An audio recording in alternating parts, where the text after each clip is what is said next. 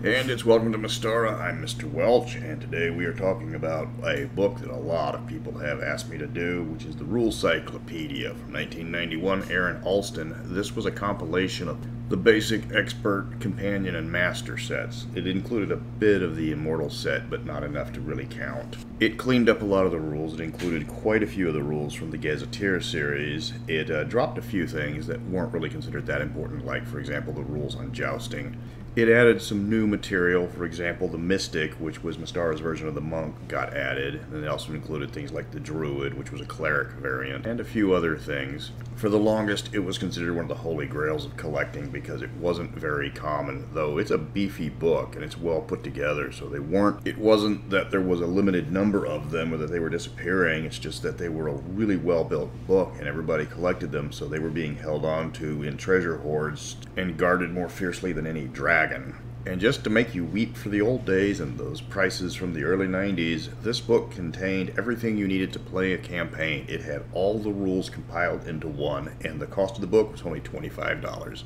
The tragedy of the Rules Cyclopedia was this came in 1991 at the very tail end of BECMI. They quickly discontinued it right after this book came out and they switched to uh, second edition in 92. Mystara would linger on, releasing a few products a year up until 95, and then the entire line would finally be dropped. This was during the tailspin of TSR, and the company itself did not survive much longer after that. So, in many regards, this book is the ultimate source book for the Mystara world. The actual Mystara content inside was pretty limited. It gave just a brief overview of everything that was put out in the Gazetteers. But the rules that were included were definitively Mystaran because it had everything that Mystara was about. It had the rules for the mass combat, the paths to immortality, domain management. You could make magic items, just everything you needed to, to run a Gazetteer in a Mystara setting this book has it. There's a lot of differences between Dungeons and Dragons and Advanced Dungeons and Dragons at this time. The most important one, of course, was that your race was your class. Only humans could be the different classes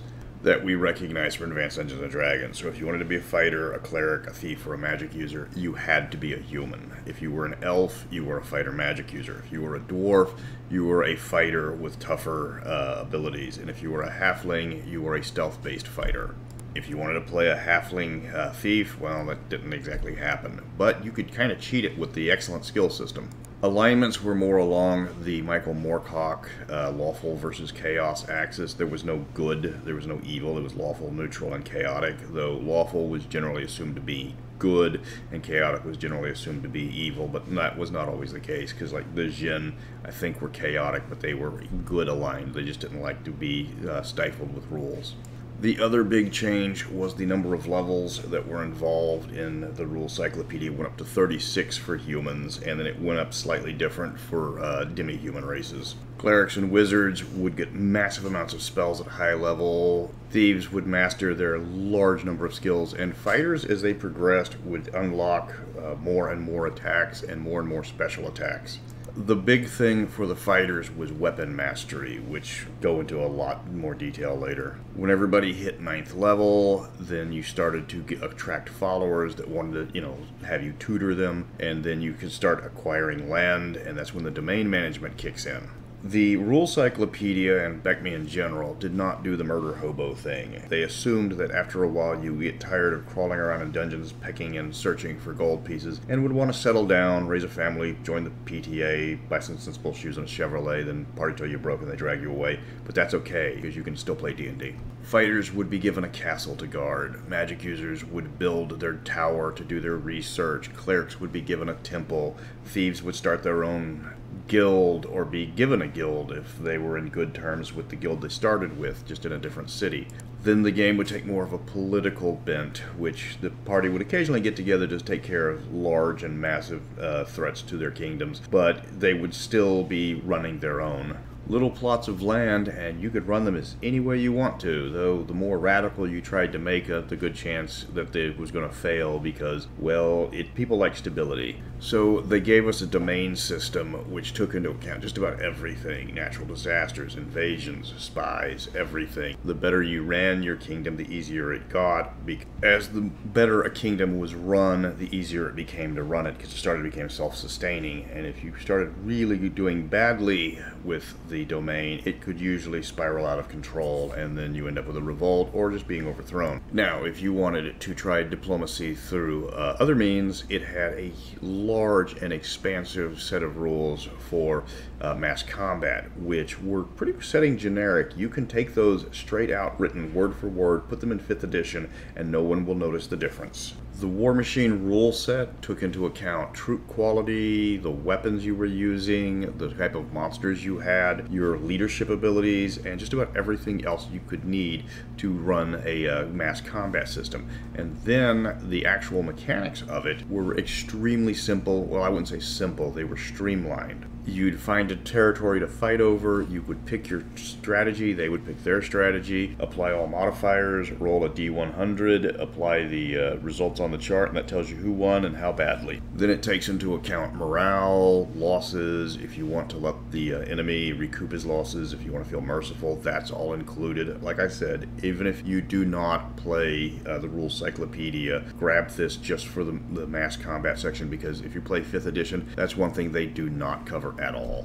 A lot of people call this the basic set, and yes, it's simpler from uh, first and second edition Dungeons and Dragons in many aspects, but it's also a lot more complex in several other aspects. For example, weapon mastery is the most comprehensive and complex uh, system of weapon skills in any D&D set, and it's the best written and makes fighters something more than just guys with swords at high levels because as you level up with the weapon mastery system, your sword or your weapon of choice gets better. So a sword starts off at D8, but when you get to Grandmaster with the proficiencies, you can actually throw it, not very well. It does 2d6 plus 8 damage. It actually gives you a massive bonus to your armor class. There's multiple ways you can attack with it and you can use it to attack, to deflect, or disarm your opponent. And there's a chart for every single weapon in the game, so everything goes from just piddly damage all the way up to large amounts of damage. So when you're facing the dragons,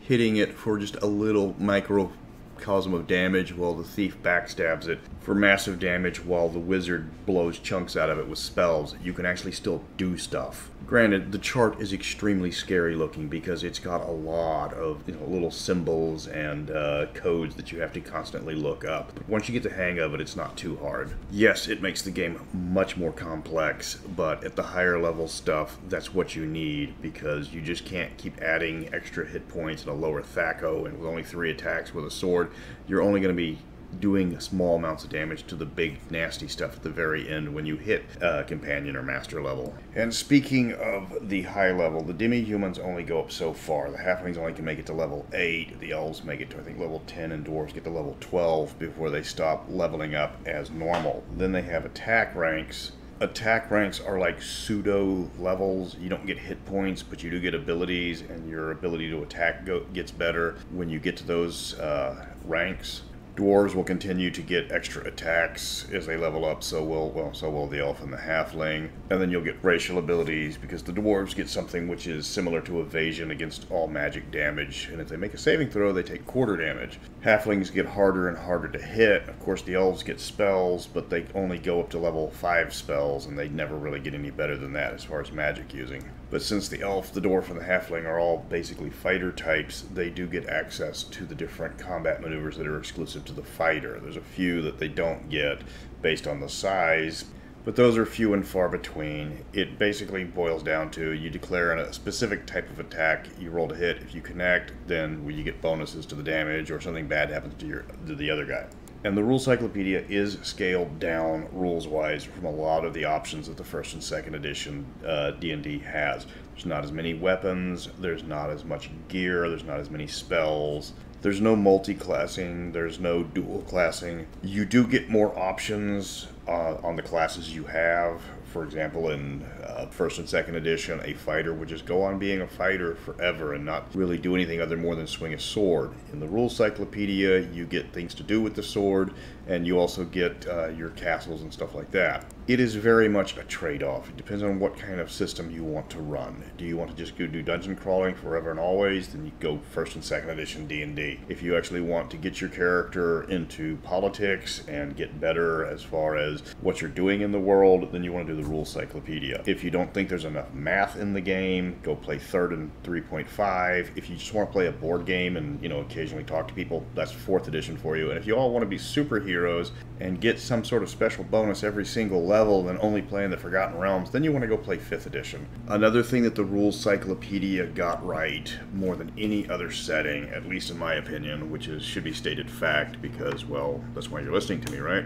The rules for skill proficiencies are still superior to that of any other rule set in D&D because it's open-ended. It's not super restrictive like it was in other sets no skill is only attached to certain classes. If a fighter wants to learn how to make snares, he can. If your wizard, for some reason, wants to be able to pick up heavy rocks and move them as a skill, knock yourself out. I've always hated cross class skills. I just, that always stuck me the wrong way ever since I read it in 3.0 because you're restricting people's imaginations. Fifth edition has the problem with there's only, what, 18 skills, and if you don't pick up those skills at character creation, you never get any new skills except for taking a feat, which is generally considered useless, or using the manipulation for the cross class system to get access to the very few uh, classes and archetypes that give you extra skills later. So once you have your skill set, that's it. You're stuck with it forever and always. So the Rule Cyclopedia took all of the different uh, proficiency skill rules from all the gazetteers, and they were all over the place, and condensed them, combined them, and merged them into one cohesive set. Yes, there's a lot of skills. You could probably shave off about a third of them and nobody would notice. When you start the game, you get four skills. You also get a bonus skill for every plus of your intelligence bonus. So wizards usually get more skills, but if you happen to be a fighter like Gandalf and have an 18 intelligence, you also can take the three extra skills. Proficiency checks you roll under the level. So if you were to take hunting, which is an intelligence skill, and you have an intelligence of 13, you'd have to roll a 13 or under to pass the skill check but every class is every skill available to them. So if you wanted to play a war wizard, you can do it. You can take skills on artillery or military tactics. That's completely acceptable. If you want your fighter to be a more ranger type, if you wanted to turn your fighter into a ranger type, because, well, they didn't have rangers in this book, then you, you spend your four skill points on hunting and tracking and snares and survival or any of the other outdoorsy stuff.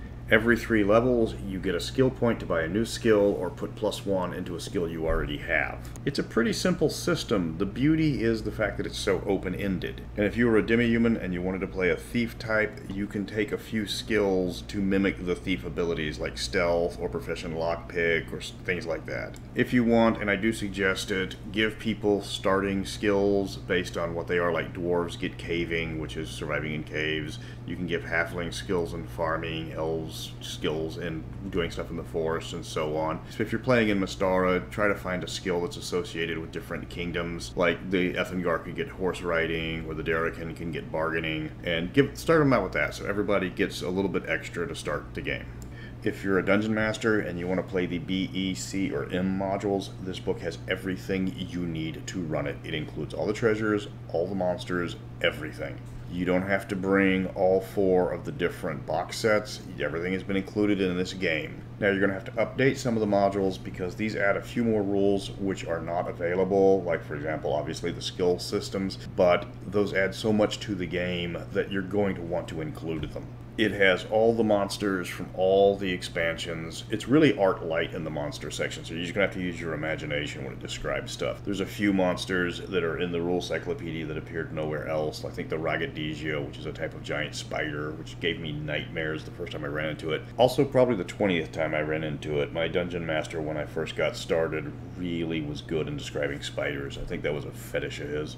It's completely compatible with the creature catalogs, both the green and the orange, so you can just plug those right in. The list of magic items is impressive and complex, and it includes some of the best uh, magic item creation, at least as far as weapons go, that you're going to find in Dungeons & Dragons. They did kind of crib that for 3rd edition, which is fair enough because it was an excellent system and other people should share it. Even people that liked the power build and the number crunch of 3rd. It gives you this massive list of what to spend gold on, so if you want to build a giant castle, knock yourself out. And if you're running around in the later stages and you're running through these modules that just give you millions of gold and all that sort of stuff, you can rebuild whatever you want. If you want to take your millions of gold that you got from Sabre River and, you know, recreate Fantasy Vegas, knock yourself out. In fact, invite. In the back of the book, there's a brief summary and maps of all of the Mystara nations. It really doesn't go into detail. You're going to need the Gazetteers to, to fully expand on it. So the link to Mystara is pretty tenuous except for the last few dozen pages. And even then, you're going to want the Gazetteer maps because they're so much more expansive than these compressed little bitty things that are kind of like pale comparisons to the originals. There's a little bit of stuff taken from the Immortals book, which they included in here, like the different kind of planes, but for the most part, most of the Immortal stuff got uh, subsumed into Wrath of the Immortals. Now, this is the part where I tell you how much it's going to cost. If you want to get an original print one, it's going to cost you about $90, They're, uh, they're pretty hard to come by. That's over on eBay or Amazon. But you don't have to do that because DriveThru RPG just reprinted them in both softback and hardback. The softback's actually $25. It's the same price as the original. The hardback's only $30, and of course, they'll mail it to you. So go over there, get yourself a copy of the book right now. There was some initial printing issues. I've been told that that's been solved or at least been uh, fixed. I have an original copy, but my friends that have bought the reprints have said that the, the manufacturer is fantastic. There was just a little issue with blurring while they were trying to get the initial kinks out of the uh, printing process at the very start. So that's going to wrap up the rules cyclopedia. It's a rule set. It's a game unto itself. If you're playing in the Mystara and you want to play with the old rules, it's mandatory. It's the rules. You have to have it. You can start this for $25. If you want to play 5th edition, you can get all three books over there for 150 It's your choice. So going on for next week, I'm going to kill off the X series that I've been working on because there's only two modules I haven't covered. So we'll start the next one with X11 Saga of the Shadow Lords. We are going off the map to the nation of Wendar to stop an ancient evil. So until next time, man, I picked a bad day to stop smoking crack.